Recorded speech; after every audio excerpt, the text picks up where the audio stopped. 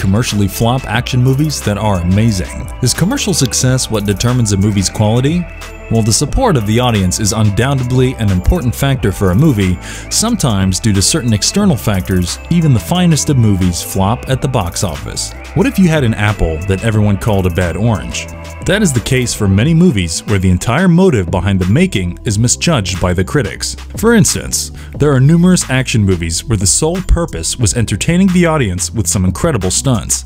It would not be fair to declare such movies as a flop venture just because they lack the storyline that you might expect from the Academy Award winner. We have assembled some action movies that did not really send the audiences in a tizzy. Due to various factors like a poor promotion or unfair criticism, these movies never had the chance to succeed. But we assure you that these are all hidden gems. Sit back and enjoy the show.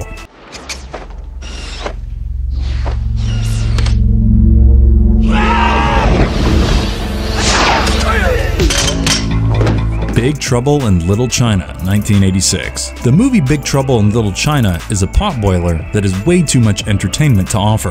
The story involves Jack Burton helping out his friend Wang Chi. The latter's girlfriend was kidnapped by the underworld from Chinatown in San Francisco. As the duo goes about their task, they soon discover the presence of an ancient sorcerer who wishes to release himself from a curse by marrying a green-eyed woman. The kidnapping was executed because Wang's girlfriend had green eyes. Can action triumph magic? We don't give you the spoilers, but let's just say that the synthesis of magic and action is as good as it gets. The movie stars the legendary Kurt Russell as the protagonist, and he does not disappoint in this stylish avatar. The movie might be a commercial failure, but the content was ripe for grand success. The movie is packed with humor, and amidst all the action, they managed to keep things light. The special effects in this movie are overwhelming for a project accomplished in 1986, and the action thriller is sure to entertain if you give it a try. The good news is you're not crazy. The bad news. The One, 2001. Science fiction and martial arts are a deadly combo, and The One is all about exploring this collective genre. The story is that of a policeman who uses wormholes to travel into alternate universes. He hunts down the various versions of himself in parallel worlds, and he does so with the belief that when accomplished, he would be invincible and godlike. He does manage to kill off 123 versions of himself, but does he succeed in his mission entirely? The movie is packed with elements of thrill and deals with concepts like interdimensional travel and multiverses that fascinate the viewers. The actors, Jet Li and Jason Statham, pack quite a punch, and the martial arts fight sequences are a treat to watch. James Wong does a brilliant job with the direction and his style allows you to overlook the lack of rationality in some scenes. This might not have delivered the goods at the box office, but the action movie buffs would find this to be thoroughly entertaining.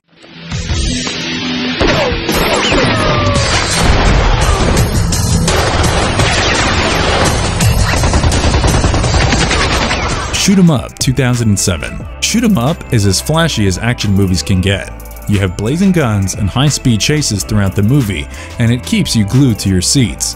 The story of the film is that of a gunman who stumbles upon a dying pregnant woman. The woman is assassinated by some killers, but the baby is now in the custody of a gunman who is determined to save it. He takes the help of a prostitute in protecting the baby and soon gets to the bottom of a sinister plot hatched by a dying senator where he was using bone marrow from babies and harvesting it.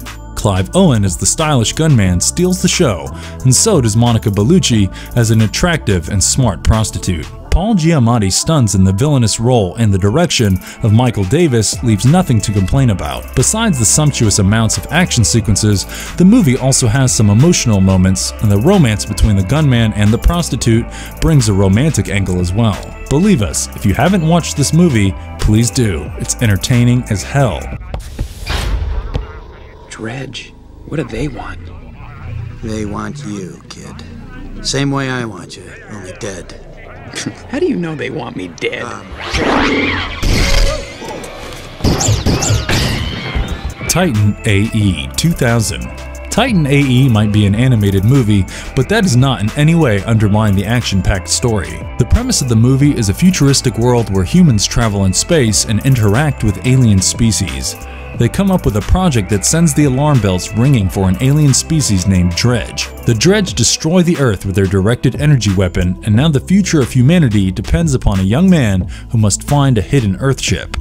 The catch is that he has to find it before the alien species in order to harbor the hopes of survival. One of the highlights of this movie is that it combines computer-generated graphics with traditional animation. The story might be somewhat of a cliche, but the inventive action scenes are a treat to watch.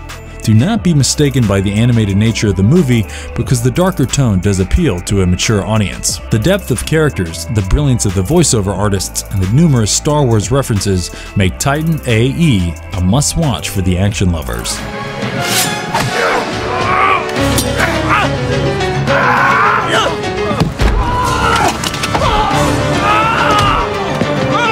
Solo 1996 Many would love the idea of Mario Van Peebles in the titular role of an action-packed movie. This is what you have on your plates with the movie Solo, where this muscle-wielding protagonist is an android-killing machine. He was developed by the military and was being used in the Latin America War to finish off the rebels and natives. But what happens when the machine develops a conscience and a love for the villagers? To know that, you have to give it a watch, and we bet that you will not be disappointed. Solo might lack the substance that makes a movie memorable, but as an action movie, it is a great entertainer. The particular fight sequence between Solo and the android developed to kill Solo is stunning to say the least. If you are looking for things like depth and character development, then this is the wrong movie for you. But in case action excites you, Solo is one movie that you cannot miss out on.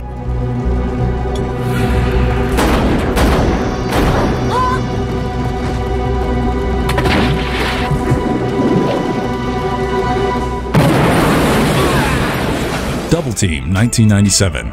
A counter-terrorist agent gets on the wrong foot with a dreaded terrorist. He now has to come back from retirement to save his wife and his son from this terrorist. If the plot sounds somewhat familiar, that is because it actually is. What separates the movie from the others are the incredible amounts of action in the movie, the fighting in the minefield, escaping a tiger, and various others. The protagonists, starring Jean-Claude Van Damme and Dennis Rodman, steal the show with their all guns blazing and all muscles ripping action scenes. The director, Tsui Hark, is no stranger to action movies and does a great job with Double Team as well. He focuses on action more than logic, and if you try enjoying the movie considering that, you will be entertained. Mickey Rourke does a decent job as the villain, and overall, the movie is watchable if you are someone to binge on action movies. Heavy traffic.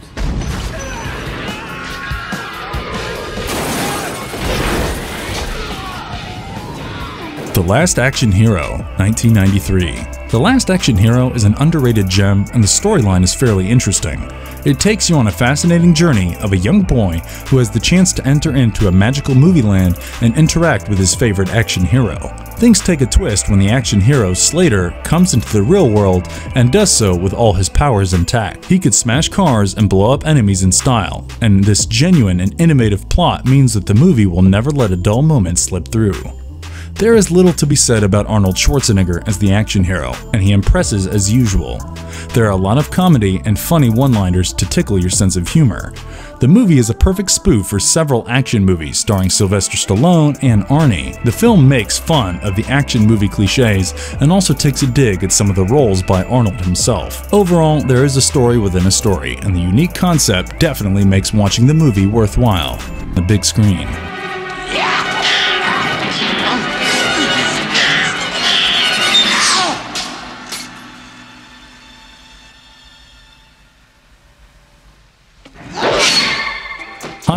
1986. What happens when immortal swordsmen clash? Incredible action is what happens, and Highlander, as a movie, promises to be just that. It is the story of Connor MacLeod, an immortal swordsman who can only die from beheading. He is trained by another such immortal swordsman and goes on to live for centuries before trouble starts brewing in his life. An enemy, the Kurgan, has the motive of killing MacLeod and obtaining the ability to become immortal. Christopher Lambert, Clancy Brown, Sean Connery, and Roxanne Hart make for a powerful cast, and they do not disappoint with their performance. The direction of Russell Mulcahy is flawless when it comes to the numerous action sequences. As a fantasy adventure, the movie ranks high with elements of thrill and suspense. The soundtrack is elegant and complements the storyline perfectly. Special mention has to be made about the script and the screenplay, and of course the mind-boggling moments of crazy fight scenes. It is one of the great mysteries how this movie never managed to succeed at the box office.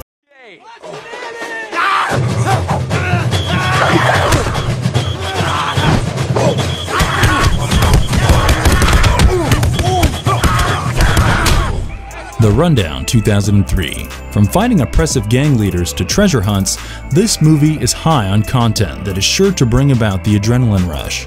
The Rundown is a classic action movie featuring Dwayne Johnson, who plays the role of a tough, aspiring chef. Things take a turn when he is assigned the task of bringing home the son of a mobster from the Amazon. He is soon in the middle of chaos and action and joins the fight against the oppressors. He also embarks upon a mission to hunt down the legendary hidden treasure. Peter Berg is known for his signature style of executing action movies, and The Rundown is another of his success stories. Even though it was not commercially a hit, the movie did become a cult classic and a popular name among the action fans. It is a wild ride, and if you can put your thinking caps to rest, then it will be thoroughly enjoyable. There is some comic relief as well, and seldom has The Rock delivered a more complete performance.